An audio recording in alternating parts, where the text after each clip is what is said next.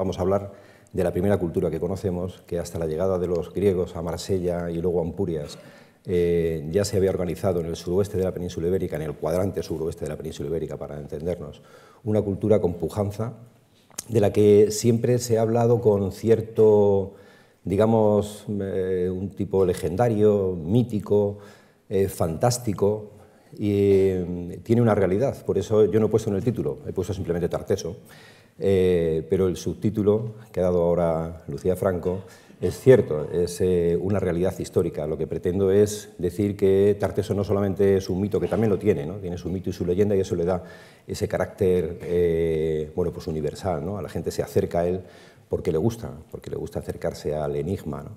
Pero también tiene una realidad que es la que tenemos que respetar y yo en ese, en ese sentido soy de los más, de lo más respetuoso.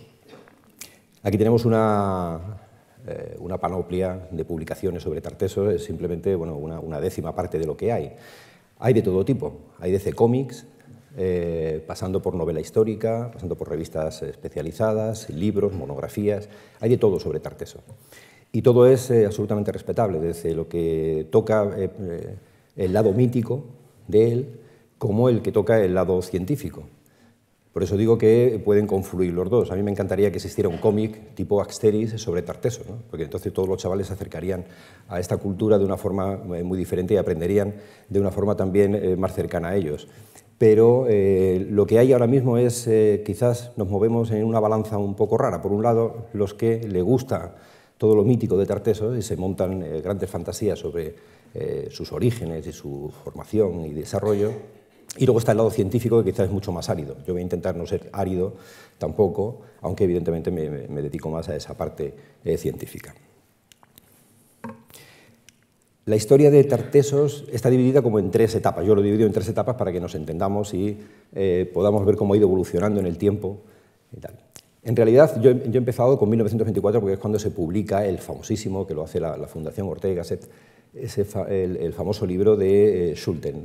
en el cual eh, él se basa en, la filología, en un libro de filología, sobre todo en el, Periplo de Avieno, que es un libro del siglo IV después de Cristo, en el cual se describe un periplo que hace un navegante por toda la costa de la península ibérica hasta Marsella. Y va describiendo, en ese, peregrinar, va describiendo la geografía de eh, lo que él denomina toda la península ibérica, pero también se detiene en Tartesos. En ese periplo eh, Sulten empieza a identificar algunos de los sitios que él cree que son los que tienen comunión con, las fuentes. ¿Qué le pasaba a Sulten? Que él venía muy imbuido de lo que había sucedido hacía pocos años, a finales del siglo, que era que un arqueólogo, un millonario arqueólogo eh, prusiano, era Schliemann, había descubierto, leyendo eh, la Ilíada, había descubierto Troya, y después descubrió Micenas y después descubrió Tirinto. Él, eh, que venía también de ese mismo origen, intentó hacer lo mismo en la península ibérica, identificando, intentando identificar dónde estaría Tarteso, la gran ciudad. Él pensaba que era una ciudad, como Schliemann eh, localizó ciudades como Troya, Micenas o Tirinto. Pero claro, él partía de una base que hemos visto con el tiempo, que era falsa. Es decir, Tarteso no es una ciudad, es una cultura. Y por lo tanto lo que hay son varias ciudades repartidas por eh, la geografía de la península ibérica, por el sur de la península ibérica, que toda ella confluyen y hacen que sea Tartesos. Ese es el primer libro que, claro, realmente ha marcado toda la línea de investigación del último siglo prácticamente, o de los últimos 80 años, hasta que se ha ido, la arqueología ha ido poniendo a la luz algunos argumentos que han ido desterrando los que proponía Sulten. También hay que tener en cuenta que en la época de Sulten, eh, decir que una civilización, una cultura como la tartésica, procedía de los fericios, que en realidad es de donde procede, donde se va, se va, a ir desarrollando, eh, estaba mal visto. Es decir, que una cultura viniera de un mundo semita no estaba muy bien visto, no solamente ya en España, sino en el resto de Europa.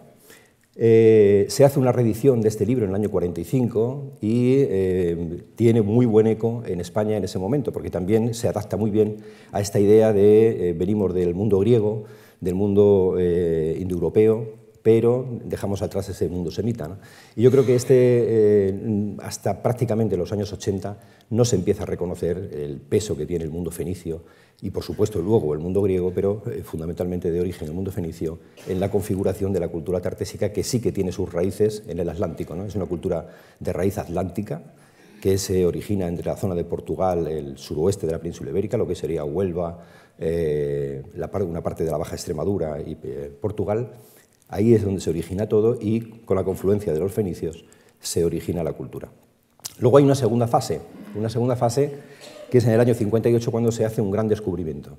Es decir, todos los arqueólogos hasta ese momento, historiadores, lo que buscan es una gran ciudad, la buscan primero en el Coto de Doñana, después eh, hay una frustración, no se encuentra la ciudad, se busca en los esteros del Guadalquivir, luego se busca en Huelva, nunca se va a encontrar esa ciudad, pero al final, en unas excavaciones que se hacen, por, son excavaciones de, urgencia, por decirlo de alguna forma, de una forma fortuita, aparece el tesoro del carambolo en Camas, junto a Sevilla, y es el primer, eh, ya se le, se le, identifica como un tesoro tartésico.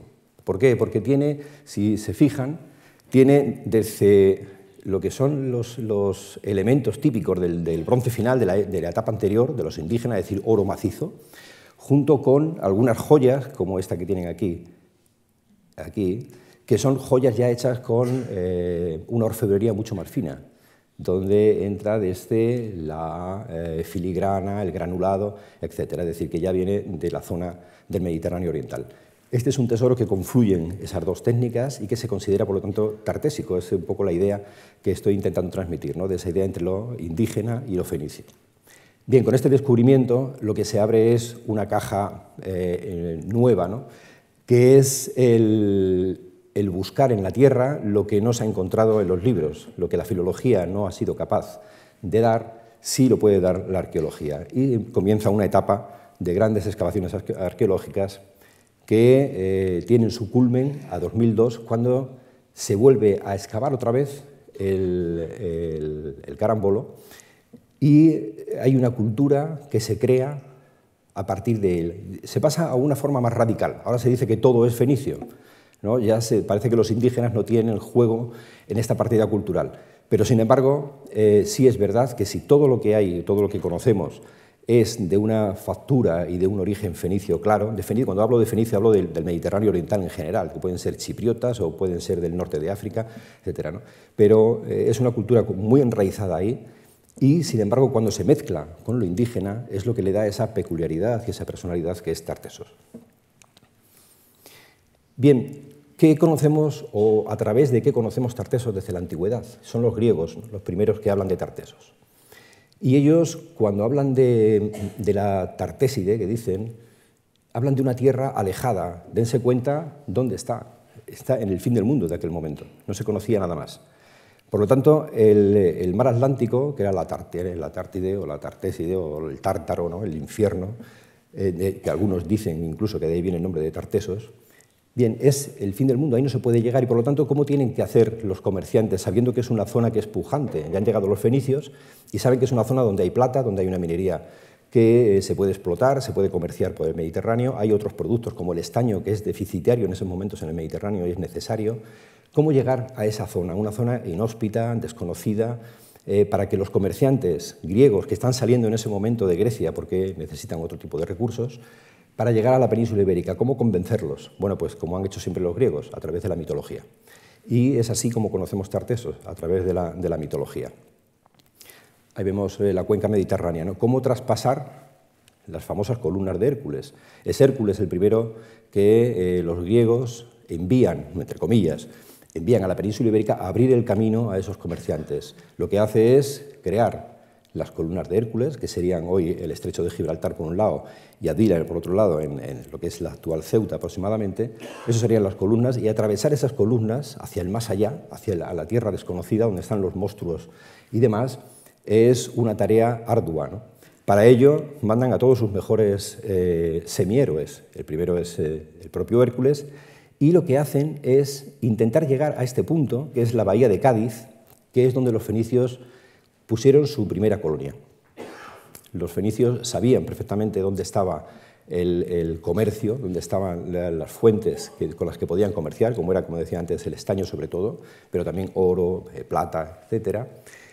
Eh, y los griegos no podían entrar en competencia con los, eh, con los, fenicios. Por lo tanto, lo que hacen es instalarse hacia la otra zona del, Mediterráneo, en la zona de Málaga y en la, misma zona de las, columnas de Hércules, sin traspasar esa zona. Sí es verdad que aparecen elementos griegos en la zona de Huelva, por ejemplo, pero seguramente son llevados por los propios fenicios, donde todavía había una cierta eh, colaboración comercial entre griegos y fenicios, aunque se están repartiendo el Mediterráneo en ese momento. Esto es Cádiz. Y pongo Cádiz más que nada porque para que vean una, fotografía de cómo es en la actualidad, cómo está unido a la península, pero cómo era en la antigüedad. ¿eh? Era una isla ideal para la fundación de una colonia fenicia. Los fenicios siempre eh, fundaban colonias en islas, pequeñas islas que estaban cerca del continente, para no entrar en conflicto con los indígenas que vivían en el lugar. A ellos les interesaba comerciar, nunca eh, colonizar de una forma agresiva. Por lo tanto, Cádiz se presentaba como un lugar ideal donde lo primero que se hace, tanto griegos como eh, fenicios, siempre que se llega a un continente donde se quiere comerciar y que es desconocido, lo primero que se hace es construir un santuario y en ese santuario intentar ofrendar para que ese comercio sea beneficioso para todos. Esa es Cádiz y a partir de ahí Cádiz se va a convertir no solamente en la, gran ciudad, en la gran capital del, eh, del, mundo fenicio, sino que cuando la crisis que se produce tras las guerras eh, entre griegos y fenicios, más tarde surge el mundo cartaginés o el mundo público y Cádiz va a tomar todavía mucha más fuerza y se va a convertir un poco en la gran ciudad donde se organiza toda la arqueología mediterránea. Para hacer un rápido contexto, ¿no? estamos hablando de, eh, de Tartesos y qué está pasando en el Mediterráneo. Hay que tener en cuenta que el Mediterráneo es el mundo que es conocido en ese momento, no, podemos hablar de otro lugar del mundo, aunque sí existe en el Valle del Indo eh, ya una civilización pujante o, en China, pero sobre todo nos interesa el, Mediterráneo. ¿Qué está pasando? Hay un colapso, que es el de Micenas, que es la gran eh, talasocracia, ¿no? es decir, una gran eh, potencia cuyo recurso fundamental es el comercio marítimo. Micenas se hunde, y se hunde por una serie de circunstancias que no vamos a entrar en ellas, pero es verdad que ciudades tan eh, pujantes como eran Micenas y Tirinto, eh, coincidiendo con la guerra de Troya, es verdad que ganan la guerra de Troya, pero la vuelta es, terrible, ¿no? y al final es una, casi es una victoria pírrica porque se hunde todo ese mundo que estaba alrededor de, de Micenas. Y surgen una serie de colonias, una serie de ciudades que lo que quieren es expandirse por el Mediterráneo y suplir ese eh, comercio que tenía entonces Micenas, ¿no? a ver quién se hace con ese comercio del mar. La lucha va a estar, por lo tanto, como decía antes, entre los griegos y los fenicios por el otro lado. De otra parte, se produce en el Asia Menor una guerra cruel y cruenta con los llamados eh, pueblos del mar, que eh, van, aquí tenemos una, todo ese lío de flechas, lo que significa es todos los movimientos que hay de estos pueblos del mar, que no se conoce muy bien cuál es su origen, pero tienen algo fundamental. Los pueblos del mar son los que llevan el hierro. Y con, esa nueva arma que es el hierro, con nuevas espadas de hierro, vencen a todos, desde los hititas que están en el norte, a toda la costa del levante, del Mediterráneo, hasta incluso poner en, jaque al imperio egipcio, hasta que Ramsés III los vence en una famosa batalla donde reproduce luego en su tumba esa victoria que él tiene sobre estos pueblos del mar, que tienen varios nombres.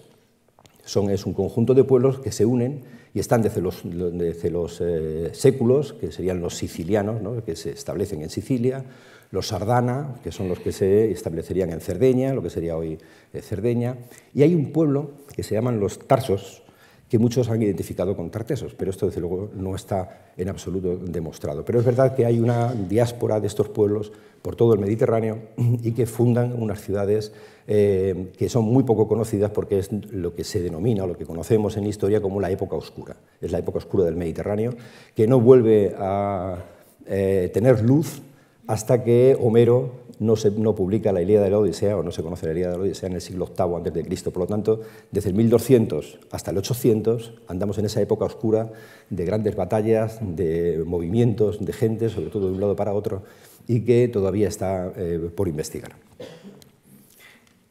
Las fuentes clásicas, cuando nos hablan de Tartesos, y son muchos, son Heródoto, Estrabón, eh, Estesícolo de Himera, son muchos los que hablan de, Tartesos. Pero ¿cómo hablan de, él? Hablan siempre como un mito, lo que decía antes, ¿no? Tienen que llegar a la península ibérica, tienen que destruir los monstruos que hay para dejar el camino libre para que los comerciantes vengan sin miedo a comerciar a la península ibérica. Primero mandan eh, a Hércules. ¿Quién era el que había en, Tartesos? Además se nombra en las fuentes. ¿no?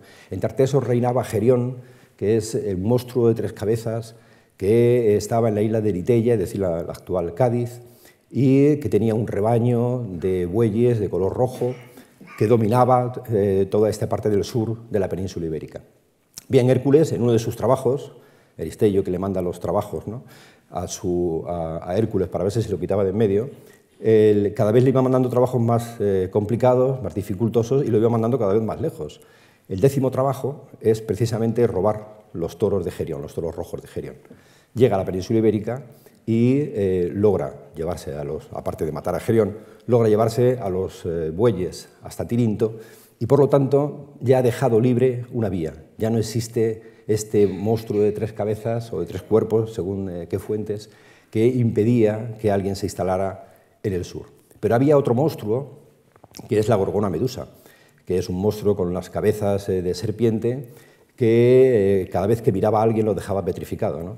Por lo tanto, eh, Atenea lo que hace es mandar a Perseo para acabar con ella. Le da un escudo, un escudo que estaba eh, prácticamente pulido, para que cuando ella se mirara se petrificara a sí misma, y así hizo desaparecer.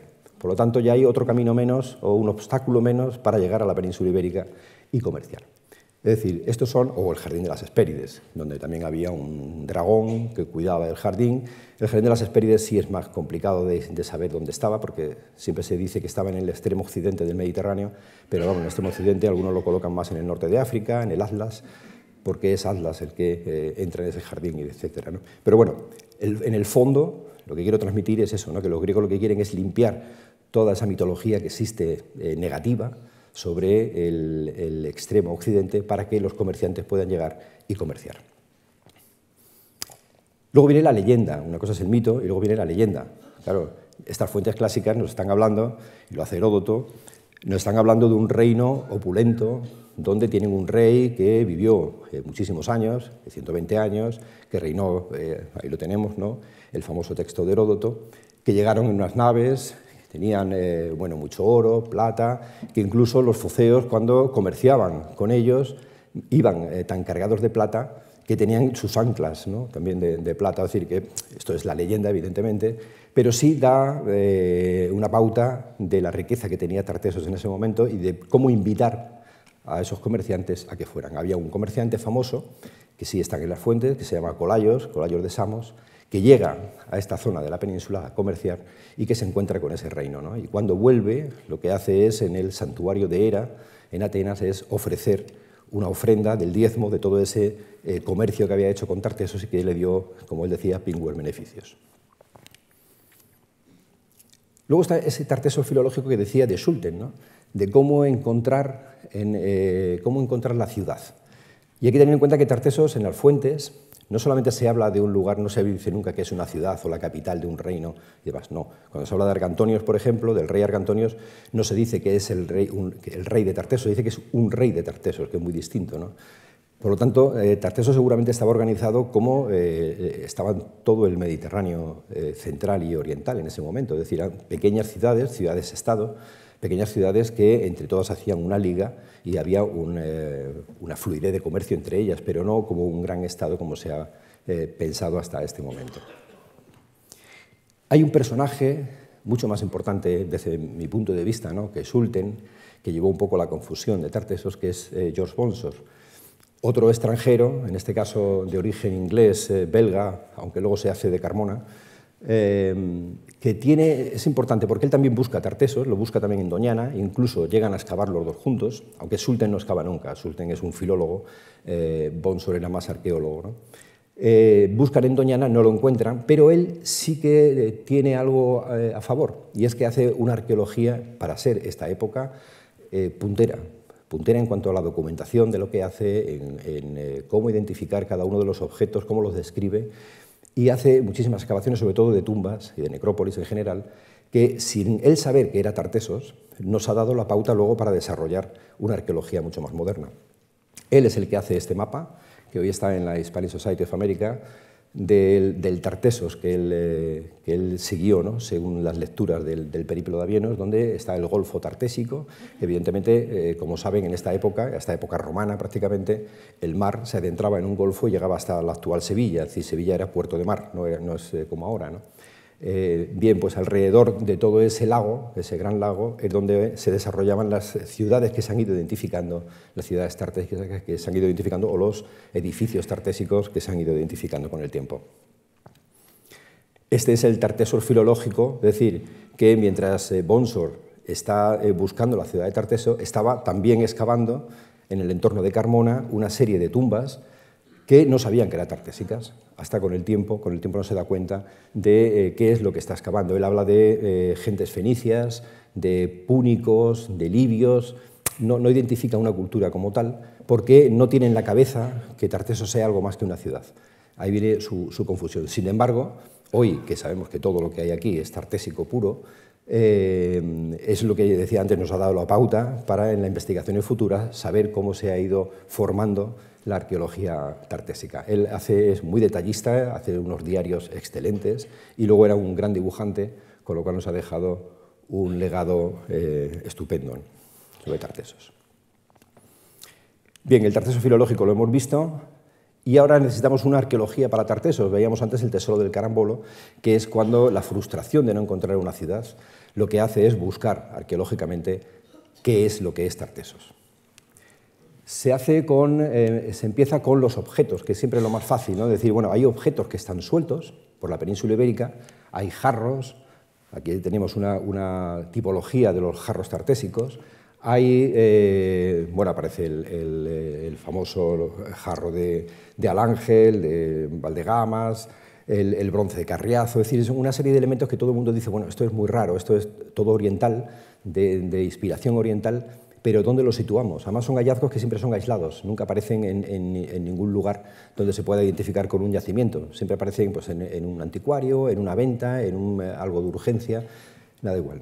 Hay dos personajes fundamentales, que son eh, Blanco Freijeiro y García y Bellido, que son los primeros que hablan de una cultura orientalizante. Eh, quiere decir que, aunque le dan un matiz más artístico, es decir, porque como todo lo que hay tiene ese carácter oriental, pues le llaman orientalizante. Pero en realidad lo que se están refiriendo a algo tartésico y el propio García Bellido en los últimos momentos identifica también eh, y hace una diferenciación entre lo orientalizante para describir unas piezas que tienen ese carácter artístico y la cultura como la tartésica. Este es el tesoro del, carambolo. Como decía, llama la atención ¿no? Eh, esos oros macizos que se utilizan en, época indígena, antes, de la llegada de los fenicios, y cómo con, la llegada de los fenicios la filigrana, el, granulado y demás, claro, se ahorra muchísimo oro y sin embargo se pueden hacer cosas con una belleza artística muy superior. La confusión entre lo orientalizante y lo tartésico, orientalizante y tartésico, sigue hasta hoy en día. No se crean que nos hemos librado de ello. Pero es verdad que cuando se hacen congresos, por ejemplo, hay un congreso sobre el periodo orientalizante, donde toda la gente que iba, si ese congreso se hubiera llamado el, periodo tartésico, hubieran ido los mismos y hubieran hablado de lo mismo. Es decir, por eso digo que existe esa, confusión entre, entre ambos. Hay una serie de libros que siempre tienen ese título del orientalizante y que muchos de ellos hoy ya se identifican como, o identifican sus escritos como tartésico, que es más fácil llegar a ello. Hay otro punto que coincide con el hallazgo del tesoro del carambolo y un personaje fundamental en la arqueología española, que es eh, Juan Maluquer de Motes, que no solamente ayuda a la excavación del propio carambolo, sino que organiza años después un congreso, un simposio en Jerez de la, de la Frontera, que se llama Tartesos y sus problemas. Y este va a ser el punto de inflexión de la arqueología en Tartesos. ¿Por qué? Porque hay un grito en ese simposio de alguien que en el simposio había filólogos, historiadores y arqueólogos. Los filólogos seguían con la historia de buscar una ciudad como Tarteso, como decían las fuentes, como decía Heródoto, como dice Avieno, etc. Y uno gritó diciendo, déjate de Avieno y vamos a buscar en el terreno. Es decir, vamos a dejar la filología, porque no ha dado ningún resultado, y vamos a dedicarnos a la arqueología, que es la que nos está dando resultados mucho más fehacientes de lo que es la cultura tartésica. En ese sentido, Maluquer es el que comienza un poco la arqueología tartésica. Bien, estos son algunos de los yacimientos, ahí como ven, el Golfo Tartésico, lo que se ha denominado como Golfo Tartésico, donde está eh, Sevilla, Coria del Río y todos los esteros, todas las grandes ciudades o todos los yacimientos tartésicos que conocemos que están en, ese entorno como es lógico. A medida que va pasando el tiempo, esos yacimientos van eh, subiendo por el Guadalquivir hacia el interior y van ocupando eh, zonas cada vez más alejadas del Y otra parte, otra zona muy importante de Tartesos, que es lo que hace el triángulo, que es eh, no solamente la desembocadura de Guadalquivir, sino Cádiz, que como digo será la ciudad importante hasta época púnica, hasta prácticamente la invasión de los romanos, y Huelva, que es otra de las zonas eh, más eh, bollantes porque es donde realmente reside toda la minería de Río Tinto, que es la que interesaba a los colonizadores, tanto griegos como fenicios. Ahí tenemos el yacimiento del Carambolo, en Sevilla, en Encamas, que es uno, ya digo, que es un poco el paradigma del comienzo de las excavaciones arqueológicas para buscar eh, restos tartésicos. Pero hay otros, como son, bueno, este es para que se vea la primera excavación que hizo Mata Carriazo, donde él decía, bueno, esto si es Tarteso, desde luego es un desastre, porque él, aparecían muros por todas partes, llenos de guijarros, de adobes, pero no, no veía la gran ciudad que se esperaba. ¿no? Entonces fue cuando decidió que eh, quizás no sería una gran ciudad, sino eh, un, eh, un, estado, una ciudad-estado. Dentro de ella el Carambolo podía ser una de ellas. ¿no? Luego veremos que el resultado, cuando se volvió a excavar en el siglo XXI, el resultado ha sido muy, muy distinto. Esas son las cerámicas típicas, se llaman cerámicas tipo carambolo, porque ya identificaban también una forma de hacer la cerámica eh, como una forma clásica de la gente de aquí, no, no, de, ni de fenicios ni de indígenas, sino ya de esa confluencia de las dos culturas. Bien, se empiezan a hacer excavaciones, eh, eh, Pellicer va a ser uno de los grandes abadides de ello, en la Universidad de Sevilla va a ser puntera en este sentido y empiezan a hacer lo que se llaman sondeos estratigráficos en varios sitios para identificar dónde hay restos tartésicos y se ve que aparecen por muchas zonas de Andalucía. Carmona, que es donde está esa necrópolis que excavó Bonsor, y que aparece un primer eh, santuario importantísimo con cerámicas, con elementos y con símbolos totalmente orientales, como es el de la flor de loto, abierta y cerrada, la vida y la muerte, que se repite en, todo Oriente, con eh, las importaciones de marfiles, otro yacimiento como Setefilla, donde eh, son las necrópolis, no solamente se identifican materiales eh, ya tartésicos, que ya se conocían, ya sabemos cómo son los broches de cinturón, eh, los cascos, el, todo, ¿no? todo lo que es el, atavío del, del, mundo tartésico. Sino lo importante ahora es que en las necrópolis también se ve cómo es la organización social, es decir, cómo el personaje más importante se está enterrando en la zona más alta del túmulo y alrededor pues, los familiares, luego tumbas secundarias, etcétera, ¿no? como ya hay una organización social importante y esto es este famoso, esta famosa eh, necrópolis. O la de la joya en Huelva, que es una de las más famosas, que se empieza a excavar en los años 60 y se termina en, los años 80 más o menos, y que ahí ya sabemos cómo es el ritual de la muerte en Tartesos. Por lo tanto, ya podemos decir cómo vivían, cómo tenían, eh, qué, utilizaban, qué atuendos eh, llevaban, cómo se enterraban, que es fundamental también, y que es una forma de enterrarse absolutamente oriental. No tiene más lo que pasa es que utilizan elementos que también son indígenas. O Tejada la Vieja, que se puede decir que es el único poblado que conocemos en extensión tartésico, porque claro, excavar un poblado en extensión es carísimo. Eh, ya sé que es algo muy prosaico, pero es, así. ¿no? Eh, por lo tanto, no conocemos ningún poblado en extensión de, este, de esta cultura. No hay grandes calles, no es como cuando encontramos una ciudad romana que es fácil de excavar, eh, y además muy espectacular, porque miramos hacia arriba y vemos las columnas y vemos los frontones, etc. ¿no? En el mundo tartésico lo que quedan son solamente los cimientos y por lo tanto eh, mantener y excavar una ciudad de, este, de, esta naturaleza es difícil, pero sí sabemos que es un, es un poblado minero eh, que está justo entre lo que es Río Tinto, Aznalcóllar y la desembocadura, la salida hacia el mar de todos estos productos mineros. O Mesar de Asta, por ser el último, que está en Jerez de la Frontera, y que es como la reserva natural de Tartesos. Muchos han situado aquí la famosa ciudad de Tartesos. En realidad, Mesar de Asta es un gran erial donde se supone, justo en, lo que sería antiguamente la desembocadura del, Guadalquivir, donde se supone que, está, eh, que hay una gran ciudad eh, tartésica enterrada. El problema está en que sobre esa ciudad tartésica está la romana, que también está enterrada, y sobre esa está la medieval, por lo tanto, para llegar a los sustratos donde está el mundo eh, tartésico sería bastante complicado de realizar, de llevar a cabo. Y por último, Coria del Río, que también apareció un santuario en la parte superior del, pueblo, cuando se iba a hacer un, colegio, a meter los cimientos, bueno, aparece este edificio con un altar en forma de piel de toro, que es muy típico del mundo tartésico, estos altares que tienen forma de piel de toro extendida, con escarabeos egipcios, es decir, todo muy, muy oriental como es eh, tal. Bien, Aquí tenemos el mapa de eh, lo que sería esa cultura que tenemos entre el siglo VIII a.C. y el siglo VI a.C. ¿Cómo se organiza? Y tenemos ahí tres círculos. El primero, que sería el núcleo, lo que llamamos el núcleo o el foco de Tartesos, es decir, el lugar donde se origina toda la cultura tartésica y donde se recibe o donde se instalan los fenicios eh, cuando llegan a la península ibérica, y la que se desarrolla mucho más rápido, sobre todo por la agricultura, porque se organizan muchísimos poblados en el entorno de, ese, lo fértil que es todo el valle de Guadalquivir, y la zona de Huelva, evidentemente, por la minería. Con el paso del tiempo, eh, las excavaciones han dado varios yacimientos de cierta importancia en Portugal, lo cual quiere decir que los fenicios no se limitaron solamente a surcar las columnas de Hércules, el estrecho de Gibraltar, y llegar hasta la desembocadura del Guadalquivir y Huelva, sino que también cruzaron el cabo de San Vicente y llegaron hasta eh, colonizar lo que es el entorno del estuario del Tajo. Eso es algo que en los últimos años cada vez están saliendo más restos y por lo tanto parece que eh, es una cultura de una extensión geográfica mucho mayor de la que pensábamos hace poco.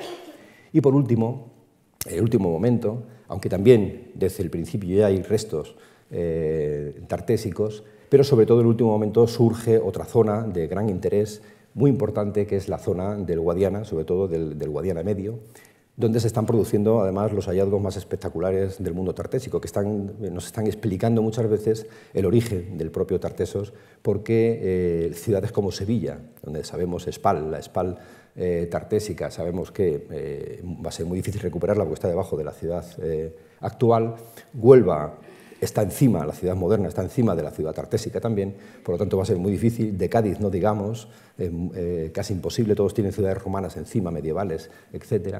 Pero sin embargo en Extremadura lo que se está dando en la zona del, Guadiana son yacimientos que están aislados en el campo y que nos está permitiendo excavarlos directamente, con lo cual es mucho más fácil identificar esa cultura y la conservación de los restos es muy superior a la que tenemos en el Guadalquivir.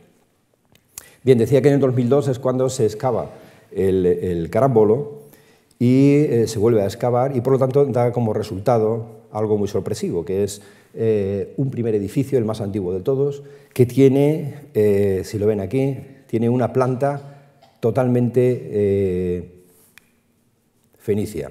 Es una plaza alargada, bueno, lo vemos ahí arriba, es una planta alargada que tiene la misma estructura que tenía el famoso templo de Melcar, en, Cádiz, un templo que fue famosísimo en la antigüedad, no solamente en época fenicia, sino que el propio eh, César, César cuando llega a la península ibérica para, para, su conquista contra Metelo, las guerras y demás, lo que hace es visitar el, el, santuario de, de, Melcar o de Hércules en ese, en ese momento. ¿no?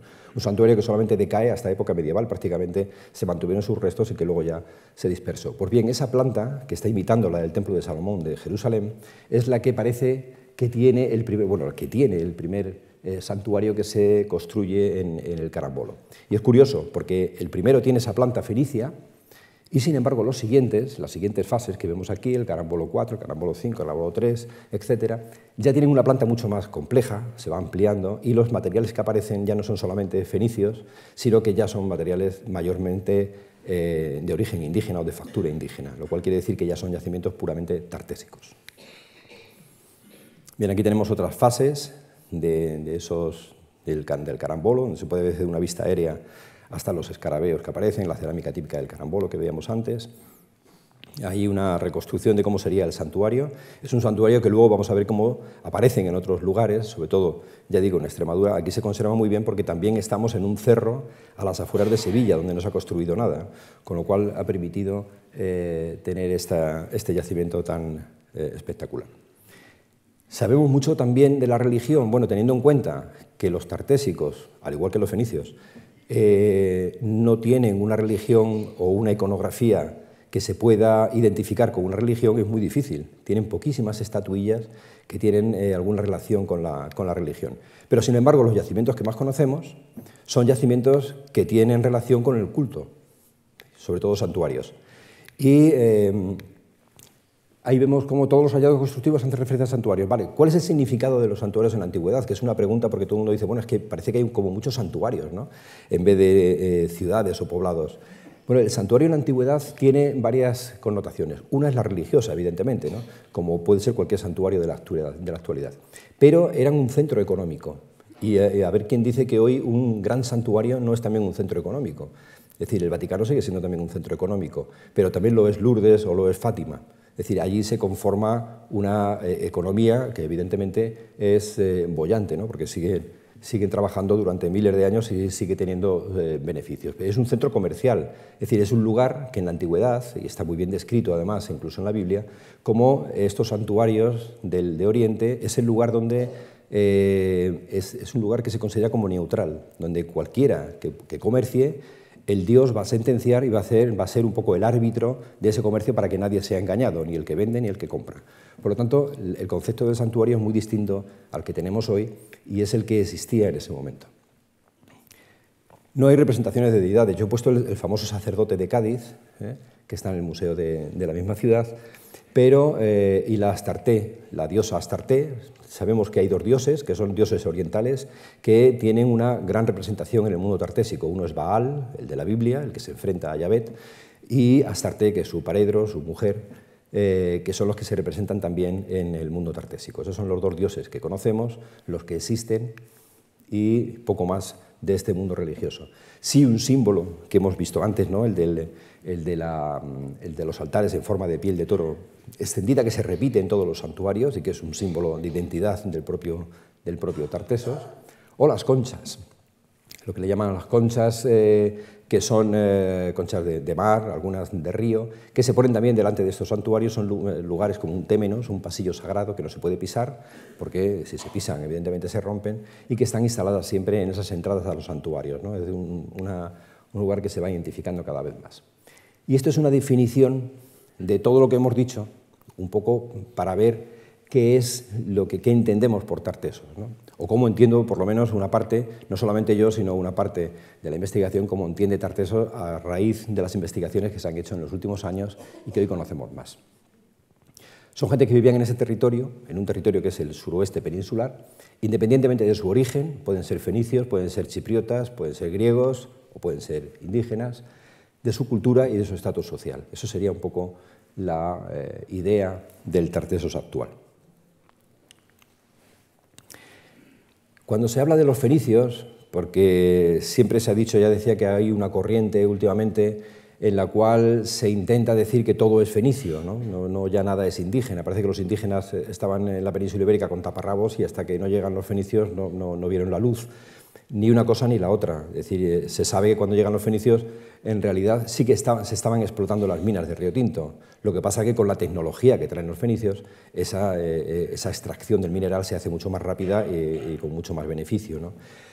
Esto es lo que nos traen los fenicios en ese momento desde eh, la casa cuadrangular, que parece algo sencillo, pero que en realidad es el cambio, un cambio de, la estructura mental de lo que es la cabaña oval, que es lo que había anteriormente, se pasa de la cabaña redonda o de la cabaña oval a, la cuadrangular. Esto permite no solamente hacer una cabaña aquí y otra aquí, sino ya hacer calles, porque ya se pueden ir pegando las, eh, casas unas a otras, hacer calles, eh, crear lo que es un urbanismo de ciudad pero traen también el torno de alfarero. Ya la cerámica no se hace a mano, con lo cual se puede hacer de una forma industrial. Se empiezan a hacer ánforas, por ejemplo, grandes eh, vasijas para almacenar, con lo cual también se pueden viajar, se pueden llevar eh, ultramar. Eh, el oro, ya hemos hablado de él, ¿no? lo que es la orfebrería, lo que es la filigrana, todo lo que es el, ahorro del oro, pero también el adorno el mismo la pasta vitrea o el vidrio, como se ve ahí, traen un elemento fundamental que es la gallina. La gallina cambia la alimentación absolutamente cuando llega la gallina por los, eh, extraída por los fenicios a la península ibérica. Traen el olivo, traen la vid, no hace falta que diga lo que supone todo eso ¿no?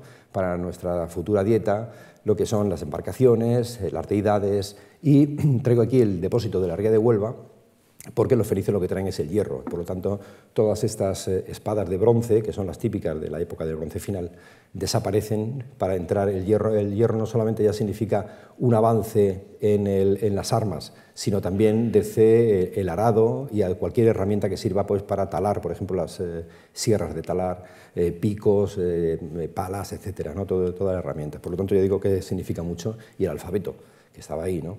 El alfabeto que lo introducen los fenicios y que a partir de ahí se desarrolla y se va a conseguir un alfabeto propio, que será el alfabeto tartésico que tiene su origen en la eh, epigrafía eh, fenicia. Bien, eh, ¿Qué pasa a partir del siglo VI?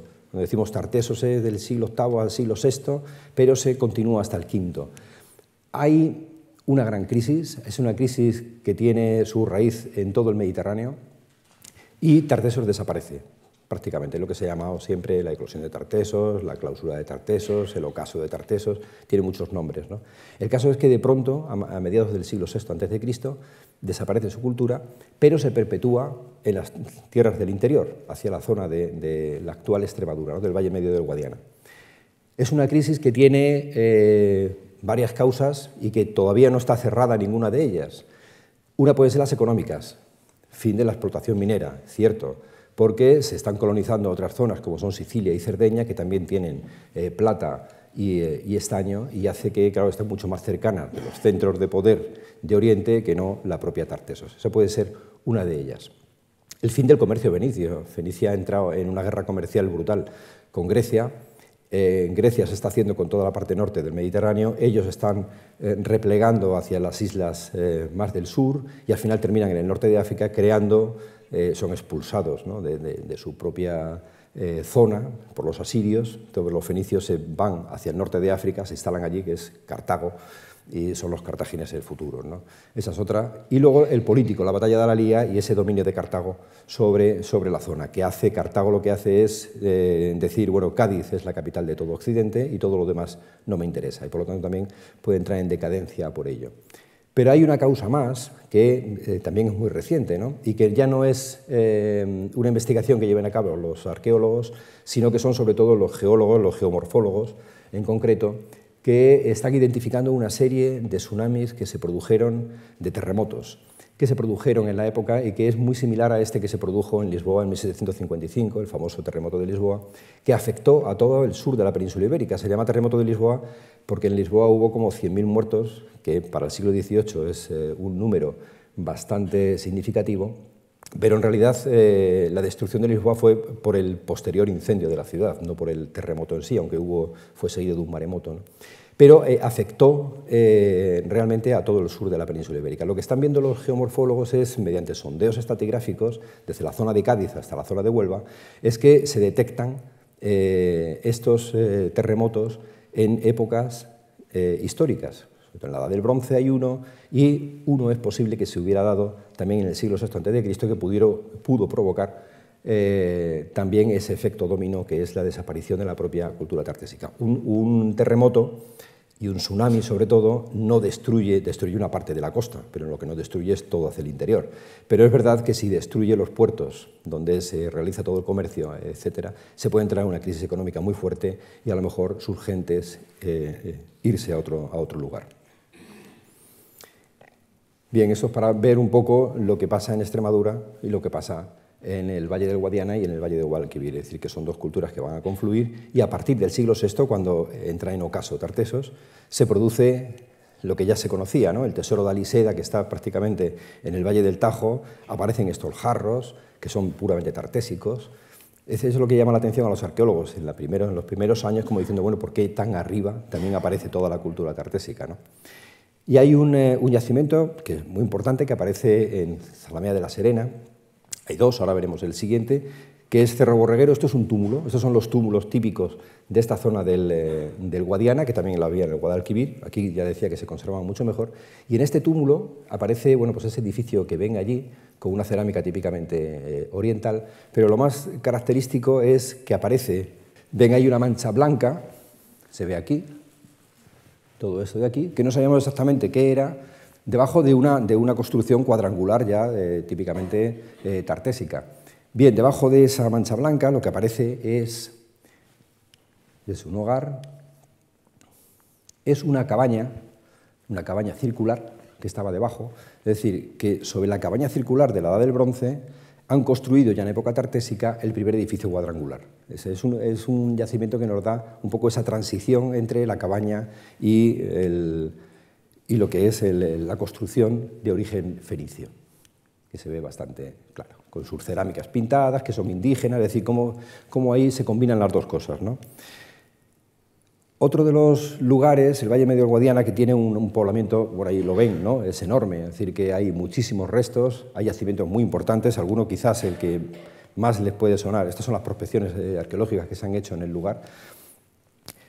Como pueden ver, lo más importante es eh, que el origen en esta zona, que son las estelas de guerrero, que son estos guerreros muy esquemáticos, eh, que aparecen con sus escudos, las espadas, las lanzas, ¿no? que son típicos del bronce final, empiezan a añadir algunas, algunos elementos ya de origen mediterráneo.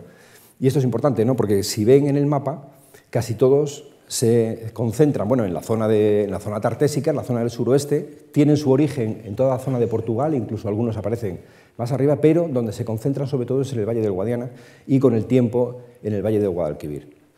Estos, guerreros, lo que se le llaman eh, los guerreros de las estelas, eh, es la único, lo único que conocemos en la época anterior a la colonización de una formación social o de una organización social básica. Son guerreros, por lo tanto, deben tener o deben controlar una sociedad pastoril, tal vez, para otros es eh, agrícola, desde luego no, pero sí parece pastoril. Pero tenemos que tener en cuenta una cosa, es que de esta época, de la anterior a la colonización, no sabemos ni cómo se enterraban ni dónde vivían. No tenemos ni un solo poblado de, esta época, ni tenemos una sola tumba de esta época. Por lo tanto, el desconocimiento es casi total. Solamente algunos tesoros de oro, de, oro macizo, de grandes torques, collares y demás, es una sociedad rica, pero eh, de la que prácticamente no sabemos, nada. La necrópolis de Medellín es eh, muy importante porque empieza en el siglo VII, está en el Valle del Guadiana, lo cual quiere decir que ya Tartesos estaba utilizando las tierras del interior para eh, expandirse. Ya la colonización no es solamente fenicia, porque los fenicios llevan aquí ya 300 años. O cuando dicen que eh, una necrópolis es fenicia, hombre, es difícil ¿no? que después de 300 años uno siga siendo fenicio. Uno ya se irá de, la tierra donde está ¿no? en ese momento, por lo tanto ya serán tartésicos como tal. Y la necrópolis de Medellín es importante porque empieza en esta época, en la época de esplendor del mundo tartésico en Andalucía, en el Valle de Guadalquivir, y sin embargo perdura hasta el siglo V, lo cual quiere decir que tiene una continuidad hasta tanto. Ahí tenemos unas imágenes ¿no? de lo que sería una tumba típica fenicia, arriba la, de Trayamar y abajo bueno, pues las publicaciones que se han hecho de Medellín y de las necrópolis que hay en, Andalucía. Sabemos perfectamente cuál es el ritual de la muerte en Tartesos, porque son muchísimas las necrópolis que se han excavado, sabemos todos los elementos, cómo se entierran, pueden ser inhumaciones, pueden ser incineraciones, es decir, que hay una, extensa bibliografía sobre ello. Otro yacimiento muy importante en el Valle del, Guadiana es Canchorroano, lo mismo, ahí ven el túmulo, debajo del túmulo en el campo, perdido en el campo, aparece uno de los edificios que han sido más significativos, puesto que apareció a finales de los años 70 del pasado siglo y que eh, al excavarse daba la sorpresa de decir cómo es posible que un edificio de esta naturaleza y de esta calidad pueda estar en el Valle del Guadiana cuando no tenemos ningún edificio de estas características en el Valle del Guadalquivir. Luego, cuando se produjeron las excavaciones del Carambolo, se entendió. Es decir, es un edificio que está inspirado precisamente en el mundo del Bajo Guadalquivir, pero que eh, aparece en el interior, ya digo que una, como ven, de una estructura ya eh, prácticamente oriental, ¿no? todo simétrico, eh, rodeado por un foso de agua, el agua que siempre es el que separa un poco la vida del culto de la vida profana, es decir, que, bueno, que se adapta a todas las significados. Y es un edificio, además, que está, este es el último, el que ven allí en la fotografía aérea, es el último edificio, el que se conserva, el que se puede visitar, y debajo de él aparecieron otros edificios sobre el que se fueron remodelando. A medida que se necesitaba más espacio, se iba construyendo un edificio encima, se tapaba todo, etc. ¿no? ¿Por qué hay tantos, eh, tantos objetos que aparecen en este, en este edificio? Este es el segundo edificio, con los altares en forma de piel de toro, como veíamos antes, otro más redondo. Aquí lo vemos, este es el segundo edificio, con el altar ahí vemos en forma de piel de toro, ahí abajo. Y el, último edificio, el que hoy se puede visitar. Bien, aparece todo repleto de, objetos, de todo tipo. Hay eh, una orfebrería muy rica, hay eh, jarros y, braseros de bronce, eh, elementos egipcios, elementos etruscos, elementos griegos, elementos fenicios, cartagineses, o sea, hay de todo un poco, ¿no? Y se conservan perfectamente porque se dio un ritual que es cerrar el edificio de una forma ritual, taparlo. Es decir, hay unas invasiones, estamos hablando de finales del siglo V.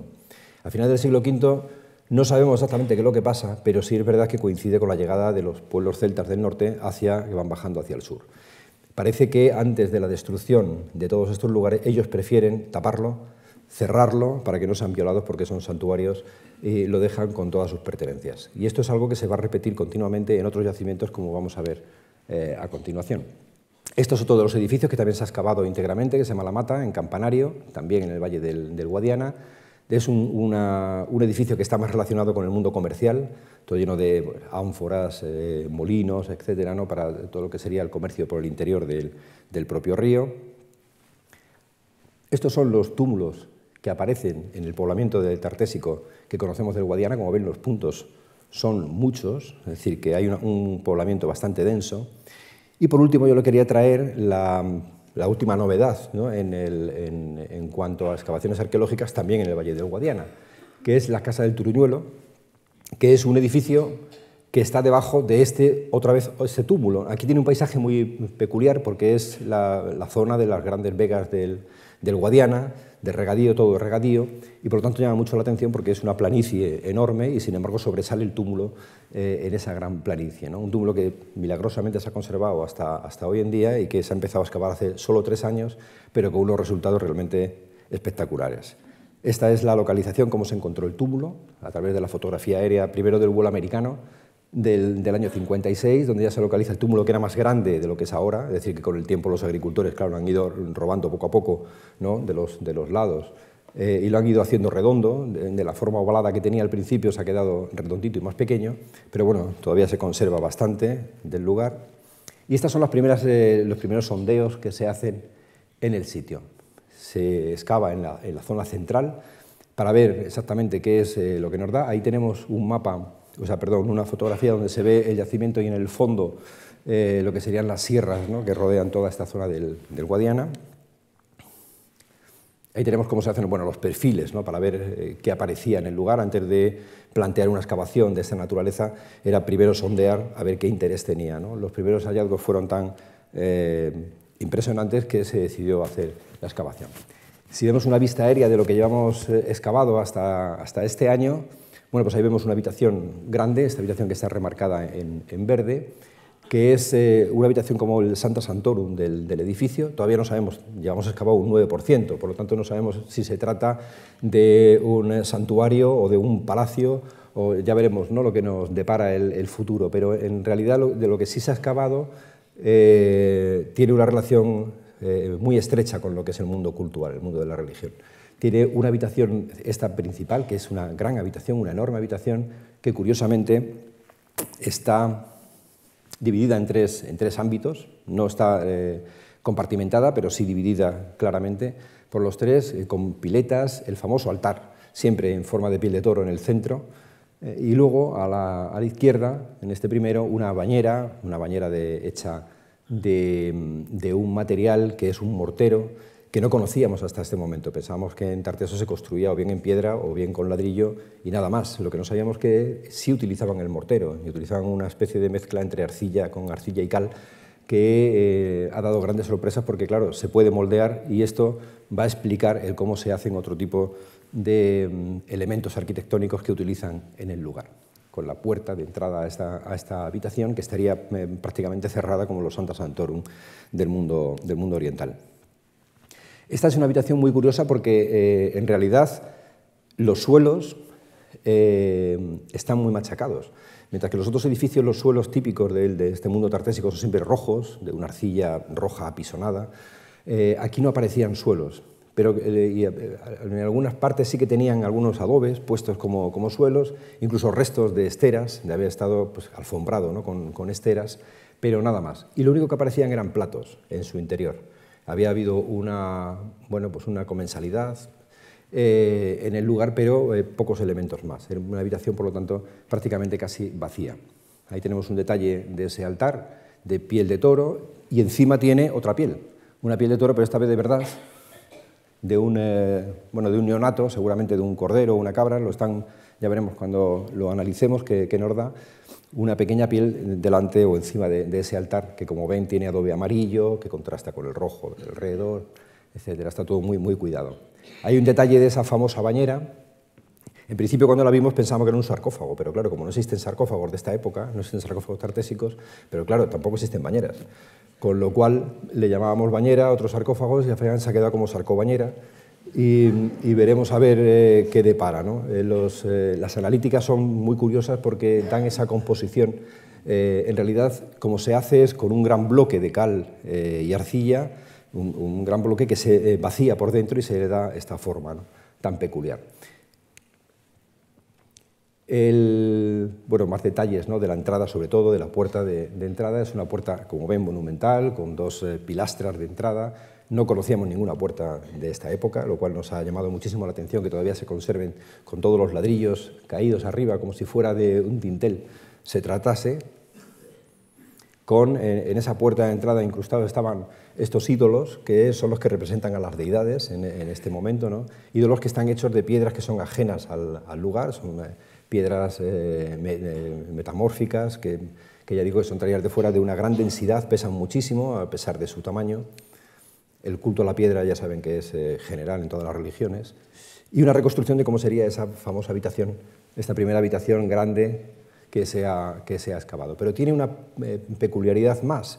Está construida en adobe, como todo en, en, este momento en Tartesos, se hace casi todo en, en adobe. Pero aquí, aparte del adobe, también se hace en ladrillo, es decir, el adobe es más crudo, secado al sol, el ladrillo es en horno. Eh, prácticamente casi buena parte del centro de la habitación estaba llena de esos ladrillos cocidos, lo cual quiere decir que tienen, están más deshidratados por la cocción, pesan menos y eh, eso nos ha dado, esta es bueno, una imagen de, estos, de estos ladrillos, no sé, si ven las paredes, que tienen, los muros son eh, enormes, porque los muros normales en, el mundo tartésico están por los 60 centímetros de anchura, aquí estamos hablando de 2 metros casi, unos 70 en este caso, son muros muy anchos que están soportando un gran peso, por lo tanto, y que curvan ligeramente. Esto eh, se lo encargamos, de todo el estudio, a un arquitecto que es el que nos ha dado la pauta de cómo podría ser el cierre de, esta gran habitación que no tiene ningún pie derecho ni, eh, ninguna, eh, ningún pilar que sujetara arriba alguna viga. Y por lo tanto la reconstrucción que hace es, esta, de lo que sería una, la primera bóveda que conocemos del mundo tartésico. Pero también es verdad que es que eh, los edificios que conocemos de esta época eh, no conservan una altura como para que podamos reconstruir cuál sería eh, su techumbre. Siempre hemos dado por hecho que la techumbre serían bueno, pues, vigas atravesadas con ramaje encima y tierra y ya está. ¿no? Pero al ver una habitación de estas dimensiones tan enormes, tiene casi 11 metros de, anchura, de 7 metros de anchura y 11 de, largo, por lo tanto era muy complejo ver cómo se tapaba. Otra de las sorpresas que nos dieron es bueno, cómo aparecen elementos típicamente orientales, como son esta, una caja de marfil que aparece con eh, leones, eh, bueno, y representaciones iconográficas típicamente mediterráneas, ¿no? como son los leones comiéndose barcos o comiéndose, en el caso de abajo, la pata de seguramente un, eh, cérvido, barcos, peces, es una, relación Bien, luego está el vestíbulo. Una vez que se excavó la habitación, pasamos al vestíbulo, y en el vestíbulo lo que aparece, ahí tenemos la entrada, cómo sería la entrada, ¿no? con esa puerta monumental, la venda adobe, el edificio quemado, porque este va a sufrir lo mismo que hemos visto en Canchorroana, es decir, primero se incendia, luego se tapa para que pase desapercibido y no sea violado en el futuro. Y de hecho ha pasado 2.500 años sin que nadie lo toque.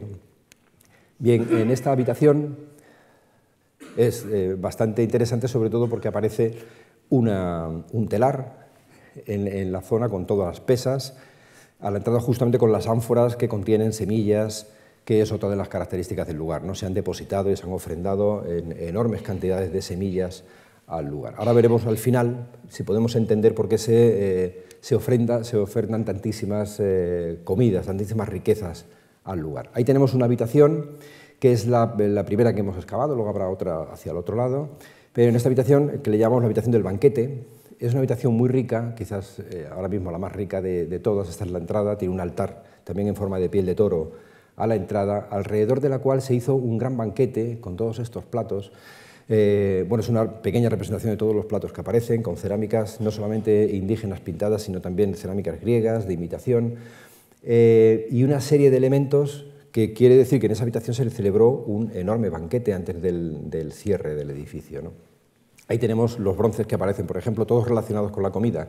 Desde el asador, eh, como ven, este de aquí abajo, que es el que sirve pues para pinchar la carne, una, mm, una parrilla, eh, elementos, bueno, hay desde timateos, jarros, eh, y un caldero, que es un caldero que en detalle podemos ver aquí, es un caldero magnífico, enorme, tiene más de un metro de diámetro, y que fue donde seguramente se cocinó la carne que luego todos los comensales comieron, utilizaron y cuyos restos se echaron luego a un hoyo que hicieron en la propia habitación. Los tejidos y la semilla, lo que decía antes, ¿no? aparecen enormes cantidades de semillas, sobre todo de, cebada, y tejidos que aparecen también por todo el yacimiento y que gracias a la conservación del, lugar nos ha permitido analizarlos y ver pues, cómo se utiliza en este momento, sobre todo el lino, que es eh, la parte más eh, la que se utiliza en ese momento.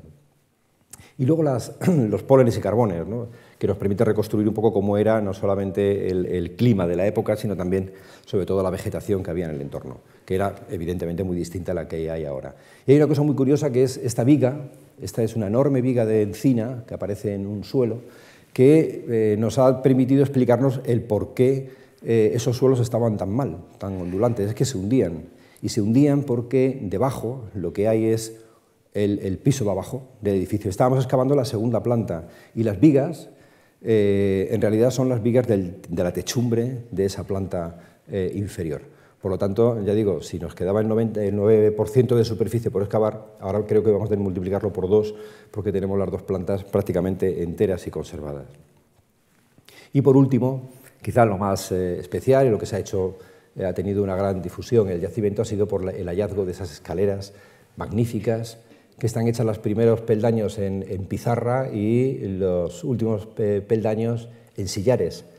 Es la primera vez que se ven también sillares en el mundo tartésico. Parece que el sillar era un invento que hasta el mundo romano no se daba, pero aquí están construidas, no están en piedra, sino también en ese mortero, en el mismo mortero con el que se hace eh, la bañera que hemos visto antes, pero mucho más eh, concentrado, con lo cual eh, se, pueden, se pueden conseguir esos, esos sillares que hacen esta forma. Ahí lo ven.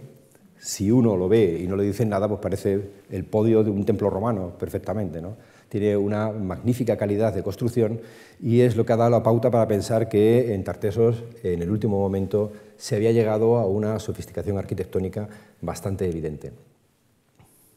Tenemos el tesoro de fundación o el posible tesoro de fundación del yacimiento, al lado de la escalera, como siempre. También en Canchorrón apareció un tesoro de fundación con unas arracadas de oro y demás que se suele poner, en vidrios, es decir, elementos, ya digo, muy, muy tartésicos, que se pueden identificar muy bien. Ahí tenemos una imagen de la escalera y ya aparecieron, en el primer año, antes de, sacar la escalera entera, ya aparecían eh, unos huesos de caballos, dos caballos sacrificados que estaban en, el otro lado de, la escalera. ¿no? Bien, en el, en el, al ampliar para ver dónde desembocaban esas grandes escaleras, esa escalinata, lo que nos dimos cuenta es que había eh, lo que en la Biblia se dice una hecatombe, es decir, un sacrificio, un enorme sacrificio de animales que se realizó antes de cerrar el edificio. Antes de irse los habitantes de esta zona, lo que hicieron fue sacrificar. Eh, por ahora sabemos que tenemos 23 caballos, eh, tres vacas, dos ovejas, un cerdo o dos, y mm, lo depositaron junto a todos los cereales que hemos visto, grandes bolsitas de cereales repartidas por todo este espacio, con algunos elementos también que no voy a detallar ahora, eh, y todavía no sabemos cómo es la dimensión de este, de este gran espacio, todavía no, hemos podido terminarlo. Esta es la, escalera donde finaliza, hace como una especie de alfombra de pizarra eh, que lleva a algún lugar que todavía no, no hemos podido ver, y este es eh, esa hecatombe de, animales. ¿no? Como están además colocados, perfectamente teatralizado, todo este gran sacrificio, algunos con las cabezas eh, cruzadas, como ven aquí, delante de la escalera, eh, algunos conservan incluso los bocados de caballo. Es decir, cuando aparecieron los primeros caballos pensábamos que íbamos a tener los caballos y detrás el carro, que suele ser lo habitual de las tumbas orientales, ¿no? pero no. Aparecen animales y más animales y aunque no hemos terminado todavía de excavar este espacio, esperemos que algún día podamos ver eh, cuál es la, definitiva de esta. Esta es eh, la última campaña de hace un mes, donde se amplió hacia este lado de acá para ver si ya dejaban de aparecer animales, pero no. Siguen apareciendo más animales sacrificados y, por lo tanto, ya digo, todavía hay que ampliar hacia acá, eh, hacia la, otra zona, es decir, es, es muy complicado. Si tenemos, por ejemplo, ya la entrada en este hueco que se ve aquí arriba. Ahí arriba del todo, ahí está la entrada de lo que sería ese piso inferior que está todavía por excavar y que nos puede deparar eh, muchas sorpresas porque el edificio se conserva, ya digo, estupendamente. Y bueno, esto es una reconstrucción sumaria, ¿no? pero para que se hagan una idea de cómo es el, edificio, de lo que conocemos ahora del edificio, evidentemente será mucho más complejo, veremos a ver qué nos depara el futuro. Es lo que quería traerles, ¿no?